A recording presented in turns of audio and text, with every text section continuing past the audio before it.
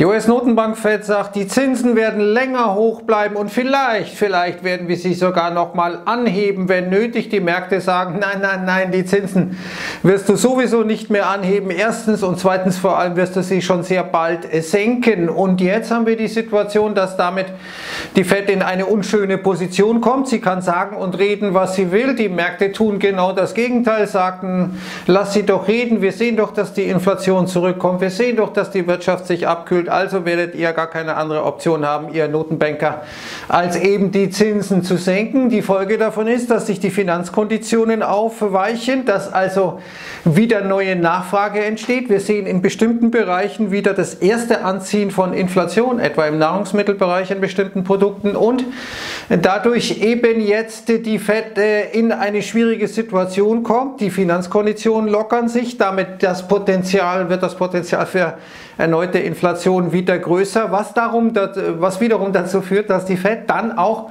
mit Blick auf die 1970er Jahre, als man die Zinsen zu früh gesenkt hat, wahrscheinlich sehr lange zögern wird, die Zinsen zu senken, viel länger als die Märkte glauben. Und während derzeit Euphorie herrscht, hurra, die Fed wird irgendwann die Zinsen senken, wahrscheinlich schon bald, wird dann die Phase kommen, wo die Rezession da ist, aber die Fed die Zinsen immer noch nicht senkt, weil sie äh, eben in dieser 1970er Situation ist, äh, dass sie sagt, naja, so schlimm ist es ja wahrscheinlich doch nicht mit der Wirtschaft. Und wenn wir jetzt die Zinsen zu früh senken, dann kriegen wir wieder Inflation. Und diese, Gefahr, diese Phase dürfte für die Märkte sehr gefährlich werden. Wie Mohamed El-Erian gesagt hat, die Märkte glauben der Fed nicht mehr, du wirst etwas komplett anderes tun als das, was du derzeit sagst. So äh, El Erian äh, auf den äh, Punkt gebracht und hier sehen wir mal Economic Surprise Index der USA, also die Abweichung der Konjunkturdaten von der Erwartung geht immer weiter nach unten. Gleichzeitig entspannen, lockern sich die Financial Conditions immer mehr. Kredite werden günstiger. Äh, die ähm, Leute werden auf dem Papier durch steigende Aktienmärkte wieder reicher. Gleichzeitig aber sehen wir, und das ist der Grund, äh, warum die äh, Märkte zunächst mal gestern nach oben gegangen waren, dass die Jobs, die Job Openings so schwach waren wie seit zwei Jahren nicht mehr, wie seit 2021. Jetzt haben wir nur noch 1,3 offene Stellen auf einen offiziell Arbeitslosen, aber wahrscheinlich sind viel mehr arbeitslos als offiziell gemeldet. Jedenfalls äh, war das eine wahnsinnige Abweichung von der Erwartung. Das hat die Renditen nochmal nach unten getrieben und die Erwartung nochmal geschürt, dass die Fed schon sehr bald die Zinsen senken wird. Jetzt sogar eine Wahrscheinlichkeit von 14,5 Prozent, dass die Fed schon äh, Ende Januar die Zinsen senken wird, aber dann auf jeden Fall höhere Wahrscheinlichkeit am 20.03.2024 und äh, sehr wahrscheinlich sieht man das dann äh, am 5.01. Da geht man sogar davon aus, dass eine gute Chance besteht, dass bis dahin die Zinsen am 1.05., also 1. Mai, dass die Zinsen dann schon zweimal gesenkt werden sollten. Insgesamt jetzt 5, äh, 25 Basispunkte Senkungen eingepreist, also 1,25 Punkte. Äh, und äh, man äh, ist also voll investiert in den Fed Pivot, in die Wendung der Fed, glaubt aber dennoch irgendwie an ein Soft Landing, warum die Fed die Zinsen so stark senken soll, wenn die Wirtschaft ein Soft Landing absolviert. Er schließt sich nicht ganz, however, die Renditen auch in Reaktion auf die gestrigen Daten zu den Jolts vor allem Jetzt unter der Marke von 4,20 bei den 10-jährigen US-Staatsanleihen. Wir sehen TLT, das ist praktisch ein ETF, das länger laufende US-Anleihen abbildet, über dem Bollinger Band, also extrem überkauft. Man war eine Zeit lang extrem überverkauft, als die Renditen gestiegen, gestiegen, gestiegen sind. Jetzt fallen sie. Wir sehen, dass ähm, die äh, Volatilität an den Anleihenmärkten viel, viel größer ist als äh, an den Aktienmärkten. Stock Volatility versus Bond Swings, also gegenüber dem Move, das ist die Volatilitäts, das Volatilitätsparameter an den Anleihenmärkten, da sind wir auf dem niedrigsten Stand seit 1995, muss man sich mal vorstellen. Also das ist schon ziemlich krass. Und ähm, das liegt eben auch daran, dass äh, Paul versucht, die Fed versucht, die Zinshoffnungen äh, zu dämpfen, aber die Märkte tun das Gegenteil. Hier ein ähm, YouTuber schreibt hier, die Fed hat die Kontrolle über die Interest Rates verloren, über die Zinsen verloren. Will they try to regain control and crash the market? Ja, aber wie soll man sozusagen die Kontrolle wiedergewinnen? Das kann man ja nur durch Taten machen. Den Worten glaubt man nicht mehr. Das haben wir gesehen. Was ähm, könnte man also tun? Die Zinsen anzuheben, aber das ist sehr, sehr, sehr unwahrscheinlich im aktuellen Umfeld. Jedenfalls ist die Fed, wie David Malpass, ehemaliger Weltbankpräsident, hier sagt, äh, mit äh, ein äh, großer Verursacher dieser Probleme. ist ein gigantischer Hedgefonds, so sagt er.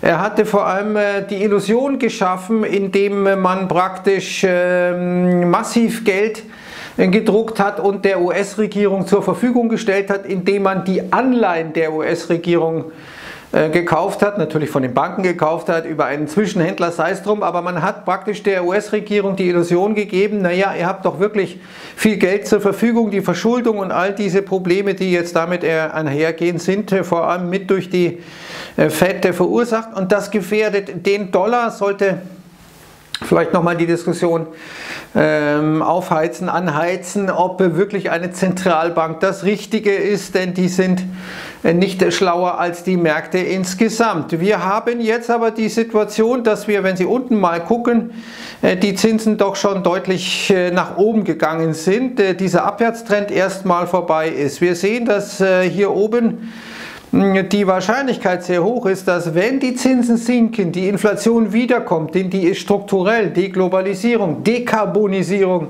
ähm, De Demografie, also diese drei zentralen Inflationstreiber, die bleiben ja. Wenn die Zinsen sinken, dann wird das alles wiederkommen. Hier sehen wir nochmal, dieser Abwärtstrend ist eigentlich gebrochen. Und wir sehen, dass nach Zinsanhebungsphasen hier im unteren Chart jedes Mal äh, etwas passierte. Und das dürfte auch diesmal passieren, dass irgendetwas kaputt geht. Und jetzt sind wir eben in dieser Phase, wo die Märkte sich noch freuen und sagen, hey, die Fed wird die Zinsen senken, aber sich nicht die Frage stellen, warum das passiert oder ob das wirklich passiert, äh, sondern sie wollen erstmal Party machen. Gestern war die Party wieder mal bei den ähm, großen Tech-Werten. Allerdings sind die zuletzt ja gar nicht mehr so gut gelaufen. Gestern war sozusagen eine Ausnahme. An 15 der 17 letzten Handelstage wurden äh, diese Tech-Aktien verkauft, wie Goldman Sachs äh, sagt.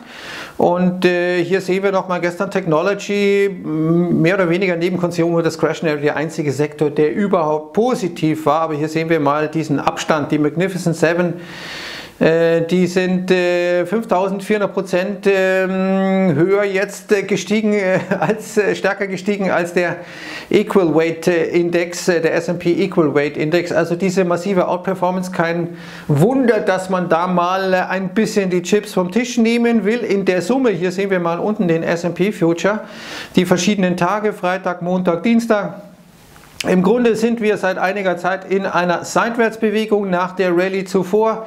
Jetzt lesen wir wieder Headlines Asian Stocks über die asiatischen Aktien as Fed Rate Cut Bets heat up. Vorher haben wir am Montag war es glaube ich gehört Headlines ja ähm, sind diese Zinssenkungshoffnungen nicht übertrieben? Das war sozusagen die Begründung, warum die Märkte gefallen sind. Wahrscheinlich fallen die Märkte und dann kommt die Begründung. Äh, hier ist es so, hier steigen die Märkte und dann kommt auch die Begründung. Jedenfalls sehen wir, dass ja der Economic Surprise Index, den ich vorhin schon gezeigt hatte, deutlich nach unten geht. Der Ölpreis geht nach unten, folgt sozusagen diesen Konjunktursorgen, während zyklische Aktien deutlich steigen. Wer hat recht? Der City Economic Surprise Index oder die zyklischen Aktien. Jedenfalls klafft da eine riesige Lücke. Wir sehen hier, dass der Arbeitsmarkt äh, sich deutlicher abschwächt. Das haben wir gestern ja bei den Jolts schon gesehen. Am äh, Freitag die großen US-Arbeitsmarktdaten, heute 14, 15 die ADP-Arbeitsmarktdaten so als eine Art Vorausschau. Aber jedenfalls sehen wir, das Unemployment Level steigt und die Job Openings gehen runter. Das ist normalerweise die Phase, wo diese Geschichte sich dann beschleunigt um dann in eine Rezession zu führen. Und das sehen wir zum Beispiel auch schon sehr gut beim Trucking Employment. Und äh, das ist sozusagen ein super Frühindikator, wie viel Trucker, wie viel Lastwagenfahrer werden gebraucht, um die Waren zu transportieren. Je weniger gebraucht werden, umso weniger Waren dürften transportiert werden, umso wahrscheinlicher eine Rezession. Und wir sehen, dass dieses Trucker hm, Transportation deutlich hier jetzt gefallen ist unter die Nullermarke, normalerweise ein Zeichen für Rezession. Wir sehen äh, gestern dementsprechend auch den Dow Jones Transports deutlich schwächer als der Dow Jones Industrials. Hier sehen wir ja nach Dow-Theorie äh, eigentlich ein klares Signal, dass die Transports lange nicht so gut gelaufen sind äh, wie die äh, Industriewerte. Wir sehen Corporate Insiders sind ziemlich bearish. Bearish, die sind gut auf dem Verkaufsknopf und kaufen sehr, sehr wenig. Wir sind jetzt in einer der äh, wie soll man sagen, bärischsten äh, Haltung der CEOs, also der Insider in Unternehmen, äh, die sich offenkundig hier mit Käufen zurückhalten. However, gucken wir nochmal auf die gesamte Weltökonomie und da sehen wir, dass Chinas Anteil sinkt. Erstmal seit 94, 1994 sinkt Chinas Anteil am weltweiten BIP. Indien legt zu, ist allerdings noch hinter Deutschland. Und äh, die USA bleiben dominant äh, mit äh, 25, äh, über 25 Prozent ist man absolut dominant. China hat 17,8, ähm, Deutschland 4. Also der Stern Chinas ist so ein bisschen am Sinken, während der Stern Indiens zumindest an den Aktienmärkten nach oben geht. Hier sehen wir Indien. Die Marktkapitalisierung jetzt 4 Billionen Dollar, erstmals diese Marke erreicht. Und unten sehen wir einen Vergleich zwischen dem indischen Aktienmarkt und äh, dem chinesischen Aktienmarkt. Äh, und da sehen wir, das ist äh, auf jeden Fall eine ziemlich klare Geschichte für die Inder. Hm, da ist man massiv gestiegen, während China massiv schwächelt. Das gilt auch, nämlich das Schwächeln für äh, die deutsche Industrie. Wieder mal schwache Daten, minus 3,7 Prozent der Auftragseingang im verarbeitenden Gewerbe, minus 7,3 Prozent zum Vorjahresmonat. Da spielen auch Großaufträge oder ausbleibende Großaufträge eine Rolle, aber dennoch ist das natürlich äh, ein Warnsignal insofern, als auch besonders schwach der Maschinenbau war, also die deutsche Kernkompetenz gleichwohl. Der DAX ja gestern auf einem neuen Allzeithoch und heute neue Daten auch in Sachen Stromproduktion. Deutschland oder in Deutschland wurde 20,3% weniger Strom produziert als im dritten Quartal 2022. Das muss man sich mal vorstellen. Ein Fünftel ist mal eben weggefallen. Wir sehen, dass die Erneuerbaren hier zulegen, jetzt 60,2 Prozent.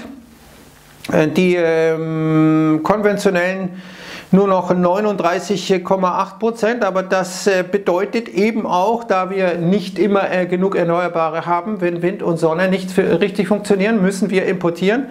Und so schreibt eben des Statis, das Statistische Bundesamt, dass äh, vor allem der geringere Strombedarf infolge der konjunkturellen Abschwächung für die geringere Stromproduktion verantwortlich ist, aber vor allem auch der vermehrte Import von Strom aus dem Ausland. Also wir haben jetzt äh, immer mehr Erneuerbare, müssen aber offenkundig deswegen immer mehr importieren und gleichzeitig sagt unsere Industrie ab, das ist eine glorreiche Mischung und hier haben wir auf der Weltklimakonferenz im Grunde nochmal eine Watschen bekommen, wir Deutschen, respektive die Bundesregierung, indem 22 Staaten angekündigt haben, die Atomkraft verdreifachen zu wollen als Antwort auf die Klimakrise. Äh, wie man sagt, aber wir meinen, dass äh, wir natürlich wieder komplett recht haben. Die Belgier, die Niederländer, die Polen, die Tschechen, die Slowaken, so ziemlich alle um uns herum sehen das äh, anders. Und ähm, das ist ähm, faktisch dann so, dass niemand, wirklich kein einziges Land unsere Energiepolitik nachahmt. Und da stellt sich eben die Frage nach dem Geisterfahrer. Wir glauben ja, dass die anderen die Geisterfahrer sind, aber äh, werden wahrscheinlich feststellen müssen, dass wir die Geisterfahrer sind. Dennoch, der DAX ist auf einem neuen Allzeithoch. Diese Rallye ist nicht normal. Warum ist die nicht normal? Das lesen Sie in diesem Artikel. Erste Empfehlung, zweite Empfehlung, China. Der Anteil sinkt am weltweiten BIP. Das ist ein beispielloser Niedergang, der auch durch Demokratie Demografie noch beschleunigt werden dürfte. Zweite Empfehlung, Indien legt zu, USA bleiben dominant. Und die dritte und letzte Empfehlung, äh, vielleicht sind diese Zinshoffnungen, äh, nämlich auf sinkende Zinsen, Zinsen so ein bisschen übertrieben. Davor warnt BlackRock. Dritte Empfehlung, heute Abend, ja keine Markeflüster, weil 19 Uhr das Webinar mit André Stacke. Daher diese drei Empfehlungen und ich hoffe, wir sehen uns heute dann um 19 Uhr zum Webinar. Ich freue mich auf Sie. Servus, ciao.